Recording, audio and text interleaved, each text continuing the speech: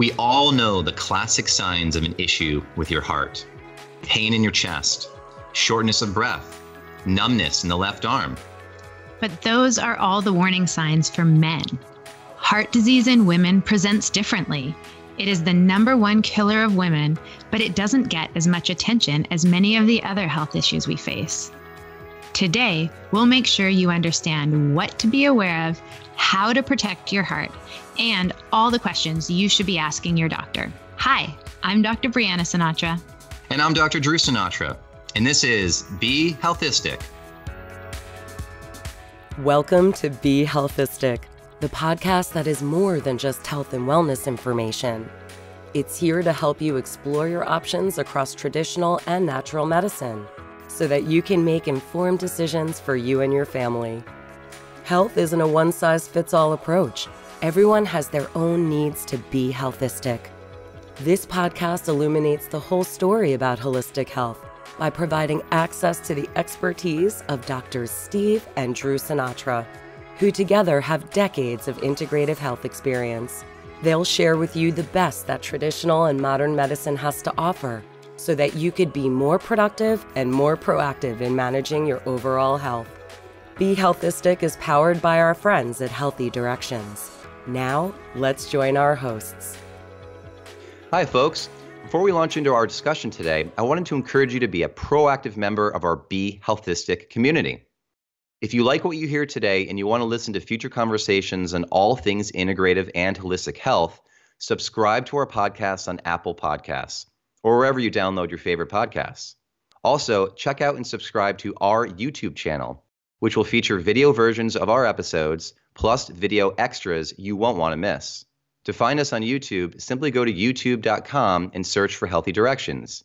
You'll find the Be Healthistic podcast on the Healthy Directions channel. And finally, we have more with me, Dr. Drew Sinatra, my dad, Dr. Steve Sinatra, and other Healthy Directions experts as well as a robust library of health and wellness content over on the Healthy Directions site. So visit healthydirections.com to explore our database of well researched content and information. And of course, you can always follow us on our social media channels. Hi, everyone. This is Dr. Drew Sinatra, and today I'm with Dr. Briana Sinatra. And we're going to be discussing heart sense for women. This is actually a topic my dad wrote a book on years ago, and we are going to be discussing how heart disease manifests differently in women, risk factors to look out for, and how to be proactive in your heart health as a woman. Many of you may not know this, but heart disease is the number one killer of women. It causes one in four deaths in the US. Yet women are still more aware and fearful of breast cancer. We need to change the paradigm and put the emphasis where it belongs on the importance of heart health and what women can do to protect themselves. So, Briana, when a woman comes to you inquiring about her heart health, maybe there's a positive family history, and she might just know her cholesterol levels. What else are you looking at to assess for cardiovascular risk? When a woman is coming in preventatively to check in on her heart health, I think it's an excellent time to evaluate and have a conversation about all the aspects of her life that impact her cardiovascular health. These can include diet, stress, her emotions, you know, if she's passionate in her job, what her home life is like, there's so many factors that contribute to stress and emotions. Her weight, what her exercise routine is like, whether she's smoking, her alcohol consumption, drug use, and to look at all the other biomarkers of heart disease, such as blood pressure, her heart rate. You know, there's a lot there. So, Drew, as a doctor, if you have a 45 year old woman coming into your office with just knowing her cholesterol levels and she wants to take a deeper dive, what additional testing are you going to discuss with her? There's so much out there on cholesterol. There's a lot of mis- um, misunderstanding around cholesterol because really, uh, cholesterol is not the cause of heart disease the way my dad uh, taught me when I was younger is that cholesterol is is found at the scene of the crime, meaning it's found in plaque formation, but it's not the perpetrator, it's not the culprit.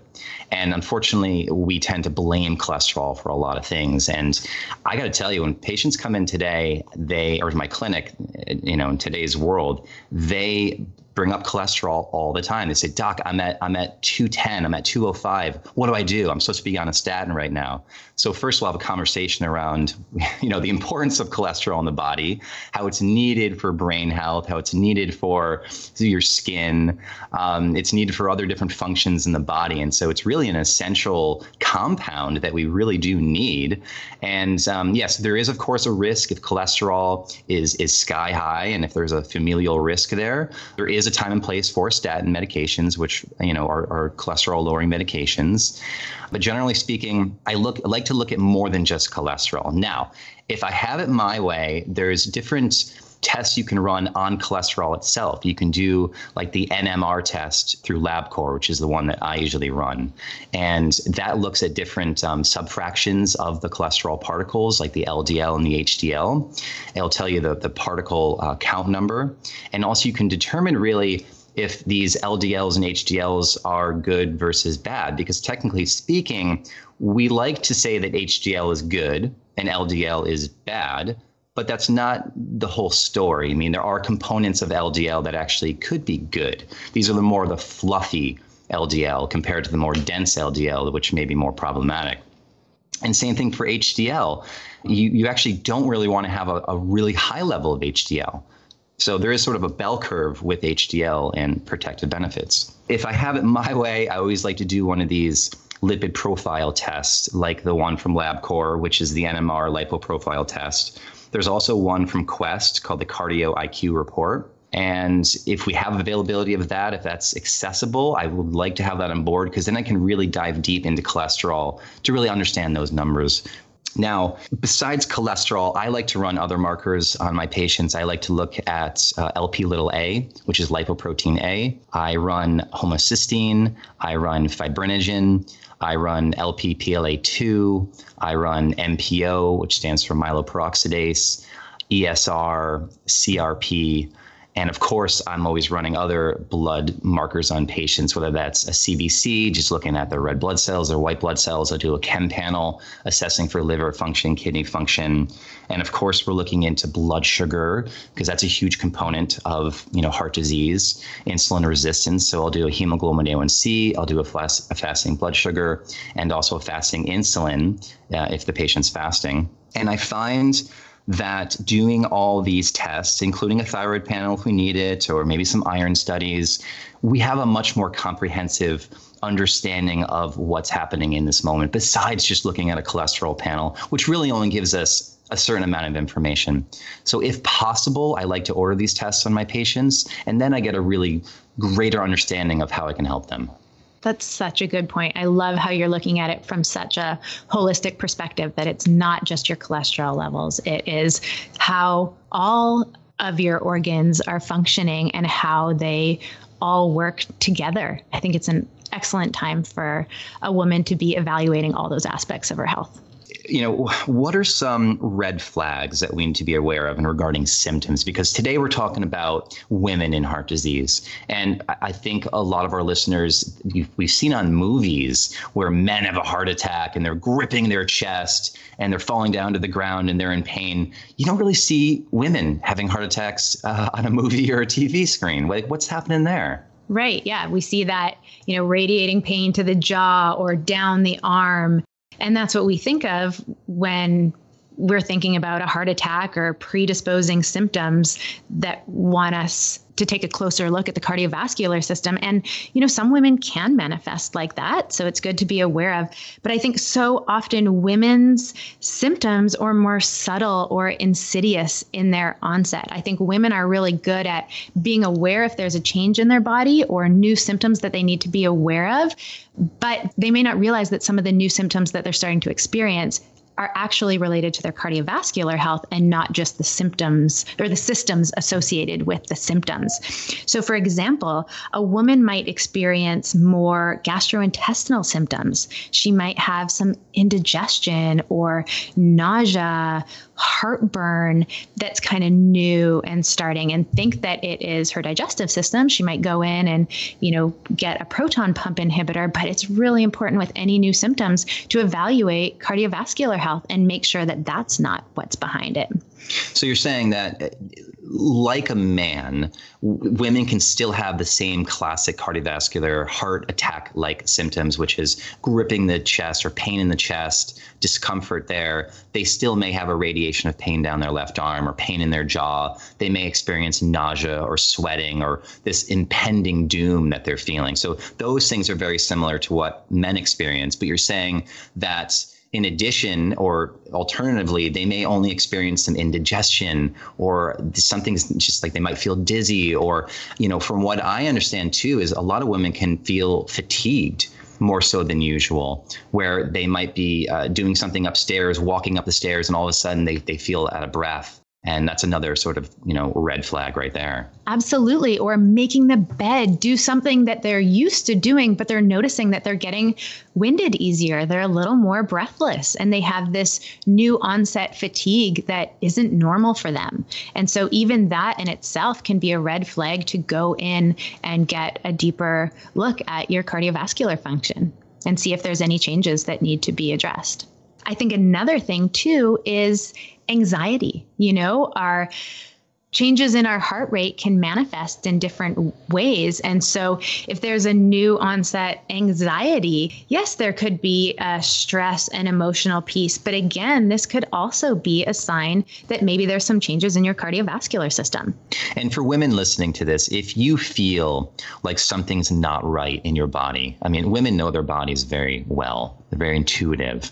And if, if you're listening to this and something isn't right in, in how you feel, then get checked out. Without a doubt, go in, get screened, get an EKG, whatever it is, something that you can do to assess what's happening to you in that moment. Absolutely. I think it's so important to listen to your body, trust your body, and if something doesn't feel right, go in, get it evaluated, and knowing some of these symptoms that are more red flags for women can help you to be an advocate for your health and make sure when you go in, your doctor is considering your cardiovascular health as an aspect of this, even if it's just an important rule out and to give you a baseline level of what your heart health looks like now. Another thing that I think is important to be aware of is any type of sleep disturbance or insomnia. You know, I think around middle age when hormones are dropping, we can think that that is the culprit. But I think it's also important if you are having insomnia to consider something like a sleep study and see if you are having sleep apnea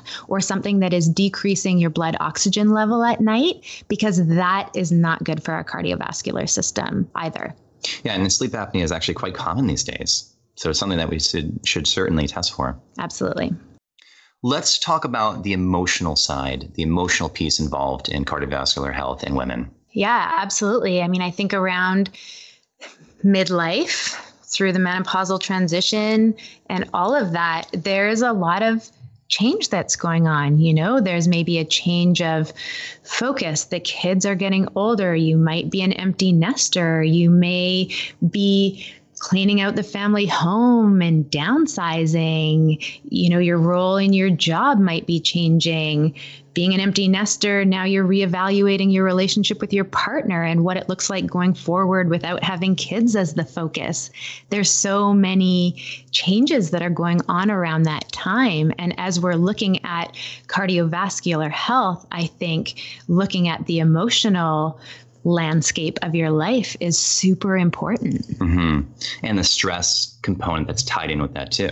Absolutely. Yeah. Absolutely. And, you know, going through menopause, our sex hormones, our estrogen and progesterone, are kind of protective in helping us mitigate the effects of cortisol in our system. So without that estrogen and progesterone there to buffer it, cortisol is a lot more reactive to our bodies. And so I think the tools that we bring to the table, uh, whereas maybe we were just able to be in a chronically stressed state before, our body isn't able to roll with it quite as easy in those later years. Mm-hmm. Stress has much more of an acute impact on our health. So I think it's really important to educate our female patients on that and help provide them with tools for how to mitigate those effects of stress. What are some of those tools? What kind of recommendations are you making to your patients? Oh, I think one of the biggest things is self care. Yes, I'm so happy you mentioned that. You know, and not thinking of it as a thing that I get to do. It's like, no, it's a thing that you deserve. It's mandatory. It's necessary. You need to take that time for yourself, whether it is, you know, reading a book, taking a bubble bath, going for a walk with a friend, getting a massage, getting a massage, going to a spa, whatever it is to, yeah. to just calm down and enjoy yourself. Absolutely. Whatever that self care, self loving thing that you can do for yourself, I think is super important you know, and then there's tools like meditation. And meditation can be a little tricky for people. Some people think, oh, I can't meditate. I don't know how to meditate. But there's many ways where you can even if it's for a minute or two, be sitting still and focus on some deep breathing. Mm-hmm.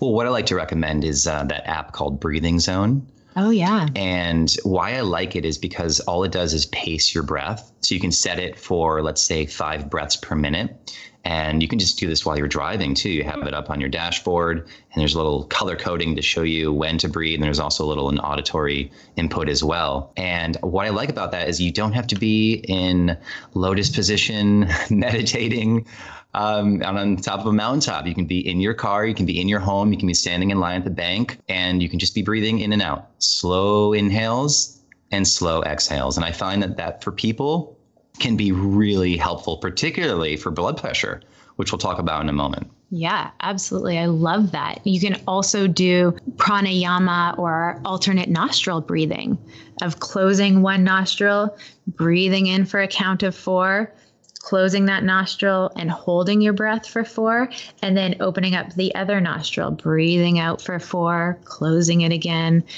holding for four, and just keep breathing in that circular pattern. And it can also really help regulate and calm your heart rate and your nervous system. And improve heart rate variability. Absolutely, which is very important for cardiovascular health. Now, in, in regards to stress, I want to come back to that. I, I want to share a story of a patient I had a couple months ago.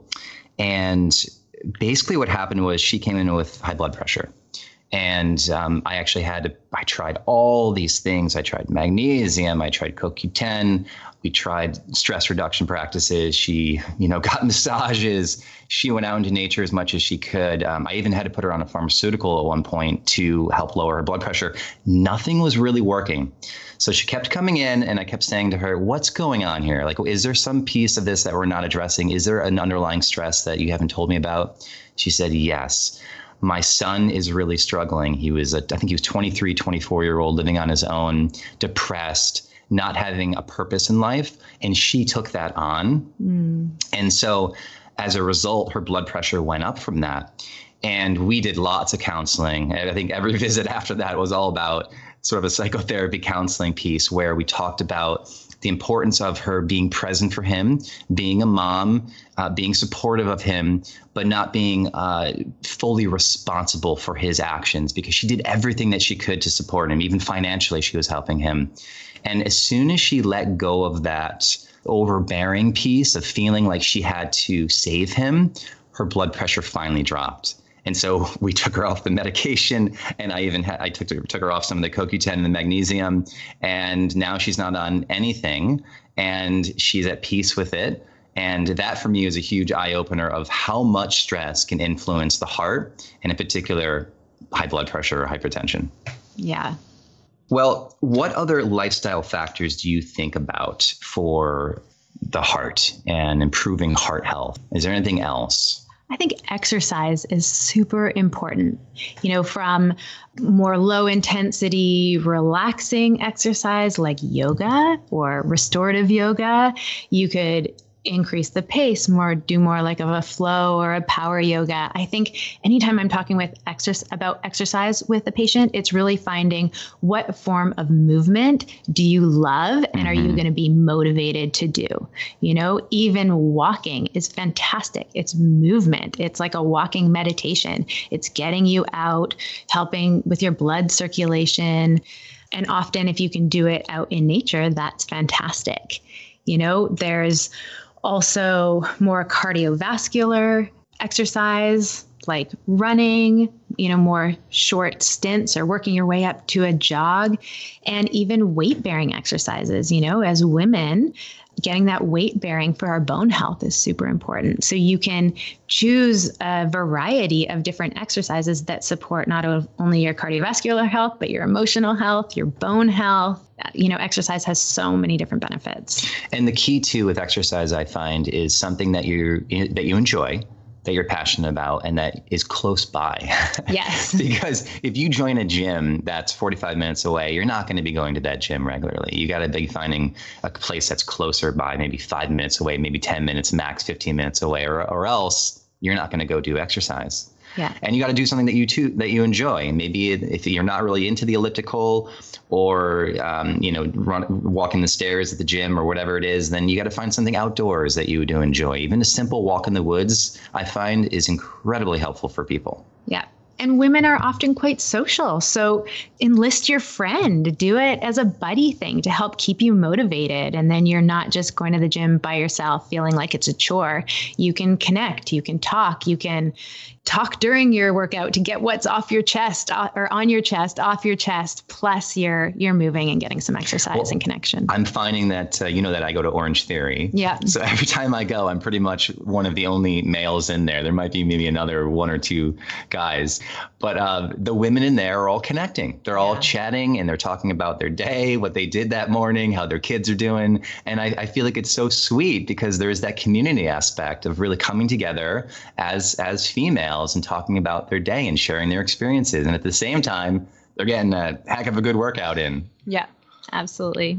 Now, I mentioned uh, blood pressure earlier because this is something that uh, we treat often in our patients. Is there anything else that you like besides, you know, I mentioned CoQ10 and I mentioned magnesium.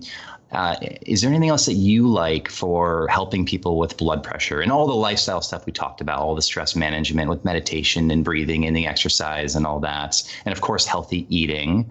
What else do you suggest? Yeah, as far as nutraceuticals. Yeah, that's what I'm thinking of. Yeah. Yeah, I mean, some other. If you think about your cardiovascular system and your mitochondria within your cardiovascular system, those are really the energy powerhouse of the cell. So you want to feed those cells with nutrients that are going to give it that important energy production, like the CoQ10 and the magnesium that you talked about. But ribose and carnitine are also really important there. Taurine is really helpful. All of those key nutrients for cardiovascular health. Additionally, uh, essential fatty acids or like omega 3 fatty acids in a fish oil or another type of omega marine oil can be really helpful, especially if there's any underlying inflammation going on there too. Mm-hmm. And one thing that I'm finding to be really helpful is fasting. Mm. and uh, intermittent fasting in particular. And that does so many different things for the body, including helping with metabolism and, and glucose regulation and insulin uh, sensitivity and all that. But I, I the reason I'm talking about fasting is because I had a patient in when we were practicing up in Canada, and he came to me because he wanted to do a 10 day water only fast because he was having uh, hypertension or high blood pressure. And I agreed to support him through this fast. And lo and behold, by the second day of a water only fast, his blood pressure dropped tremendously. And every day, I think for the next five or six days, his blood pressure continued to drop until it kind of plateaued out at a very healthy 110 over 70. When this guy was running at, I think it was around like a 1, 180, 170 over 90. Mm. And so I really learned from that uh, experience that fasting, giving the body a rest, for this gentleman was really helpful. And I've been trying to incorporate that more into uh, my patients that have hypertension is some form of intermittent fasting, or if they're willing to do a one day water only fast per week, then I, I do recommend that. Because I feel that there's certain foods that we do eat that might be pro-inflammatory and people may not know that. And so when they're doing a fast it's giving their body a rest and allowing it to to do some healing actually. Absolutely. I think even something as simple as giving yourself a 12 hour overnight fast you know, have your dinner and then let that be it. I think sometimes when we have those foods that are maybe more pro inflammatory or more high in carbohydrates and gives us more of an insulin spike are those snacky foods that we eat late at night. And so, even just making that commitment of, okay, if I'm feeling like I need something else, maybe having an herbal tea or something, but not going for the popcorn or the crackers or those extra things that are just giving empty calories, but, you know, stopping eating and then eating again 12 hours later, you know, if you're just looking at 12 hours, that's 8 p.m. to 8 a.m. That's not that long. You know, sh- shuffle that a little earlier and you have 14 hours. So I agree. I've seen that make a really big difference for blood sugar, inflammation, and all of those things are intertwined and can definitely make a huge impact in cardiovascular health. So it's not just looking at those systems in, in isolation, but mm-hmm. how you can make a few key changes in your diet and lifestyle that really impact a number of your systems. It's funny you mentioned that because the other day I was thinking that it's very easy for us to eat late at night I think everyone, you know, we do it partly for stress purposes. We, we're stressed out. We want to eat some potato chips or whatever it is. And it's also because we have food in our shelves that we do it. And I've been finding for myself and patients too that that's a really hard thing to do is to not eat after dinner. Mm. And um, I, I, do encourage people though to to do what you were saying is that, that you know extend that intermittent fast. So if you can end your dinner at seven and not snack before you go to bed, and you wake up and you go until 10 o'clock, well, you've done you've done a 15 hour fast right there. So that's great. Yeah, absolutely. So I had a patient who was in her 50s and she was coming in because she had some elevated cardiovascular markers that were concerning to her.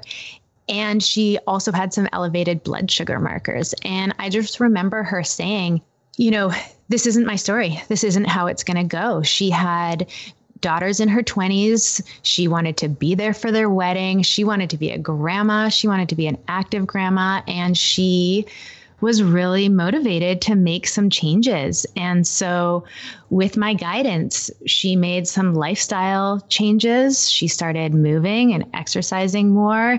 She made some changes to her diet we added on a few different nutraceuticals. She started going to restorative yoga, prioritizing her health, making sure she was doing and making time for her self care because she was in a high stress job that didn't really have a turn off time. So, you know, her cell phone was going all the time and she was always feeling like she had to check in.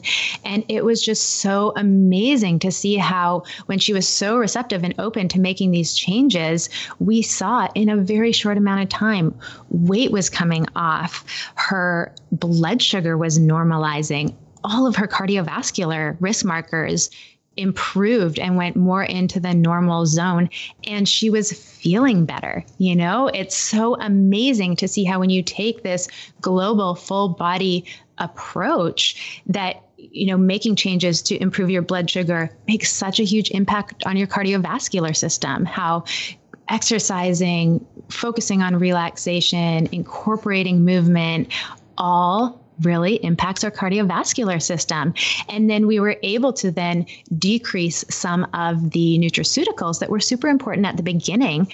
But she then started incorporating intermittent fasting, and that was able to take the place of some of the dependency on the nutraceuticals once her diet had cleaned out a little bit. She knew the foods that were triggers for her and knew the foods that were helpful for balancing her blood sugar and and everything that again really we saw a huge wonderful impact on her cardiovascular system. What I love about that story is that she came in motivated to make some major changes. And then what happened was she changed her diet, she reduced stress in her life. She basically said no to these things in her life, which is saying yes to yourself and bringing on some nutraceuticals, whatever it was with the meditation, the yoga that she did. And then she started to see changes in her body, right? And then that allowed her to move forward from there because she was feeling better. She lost some weight. And then once that happens, I feel like people are just, they're in. They say yeah. to themselves, okay, I'm here. I want to stay at this place where I feel so good in my body. I want to continue moving forward. Yeah, absolutely. So, as we wrap up our episode today, we want to remind you there's key differences between how men and women manifest when there is an underlying heart or cardiovascular condition.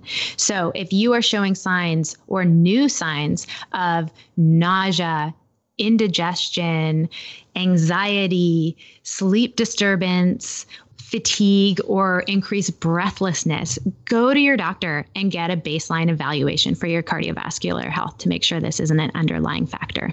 And the way that we go about, you know, approaching cardiovascular risk through lifestyle and comprehensive testing such as running more tests than a standard lipid panel, which may include an LDL, an HDL, a triglyceride, and some ratios there. I like to do more of a deeper dive into that cholesterol, and there's many different ways to go about doing this through Quest and LabCorp, and then we'll understand more about that cholesterol and how uh, detrimental or protective it might be, and then of course running other labs like LPPLA2, MPO uh, ESR, CRP, fibrinogen, homocysteine, thyroid markers if we need to run down that, or some iron studies or CBC, chem panel, et cetera, to get a more comprehensive understanding of what's happening in the cardiovascular system.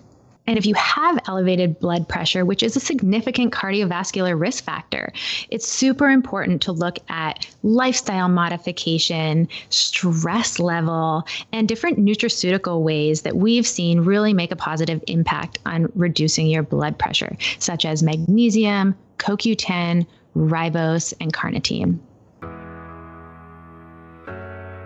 Before we wrap up this episode of Be Healthistic, it's time to share our wellness wisdom for today.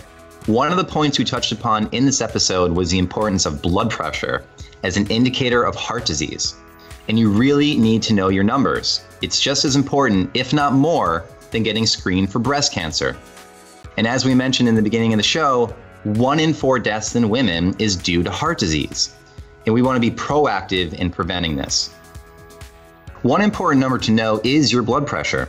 Sometimes this can be falsely elevated in the doctor's office, which is also known as white coat hypertension. And so women may not know their true number. We recommend getting a measurement on your own. And did you know that you can do this at your local pharmacy or drugstore, and they have these self serve stations? Or you can purchase your own electronic blood pressure device and measure in your own home when you're in a relaxed state. Remember, everyone, if you liked what you heard today and you want to be an active member of the Be Healthistic community, subscribe to our podcasts on Apple Podcasts or wherever you download your favorites, and subscribe to the Healthy Directions YouTube channel. You can also find more great content and information from us and the Healthy Directions team at healthydirections.com.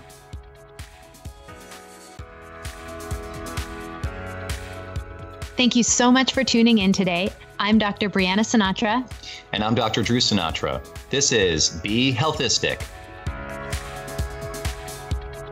Thanks for listening to Be Healthistic, powered by our friends at Healthy Directions with Doctors Drew and Steve Sinatra. See you next time.